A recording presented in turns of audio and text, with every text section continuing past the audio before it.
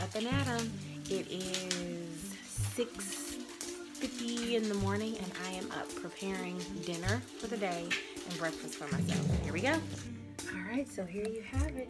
You got carrots and potatoes and your roast down in there.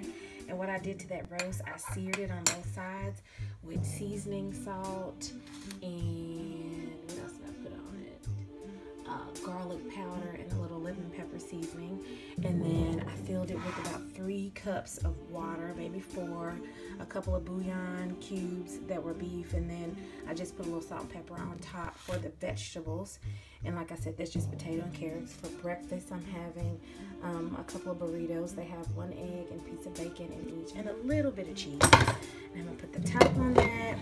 So my lunchbox, I have curried vegetable stew um, with some couscous at the bottom and then I have a grapefruit and an apple. So there you have it. I am ready for the day. Let me know what you do in the morning to get ready. Do you fix dinner in the morning?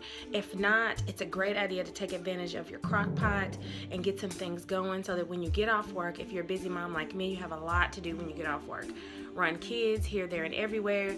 So crock pot cooking works really good for me. I can get things prepared in the morning, and then by the time I get home, kids can eat, and we are running to the next thing. So this works for me. Let me know what you put in your crock pot, what type of meals you make. If you're not like a beef eater, we're not big beef eaters either, but from time to time we um, do do beef. But if you put chicken in your crock pot, sh share with me some meals. I would love to up my game, my crock pot game, and get some more stuff going. So anyways, have a fantastic day.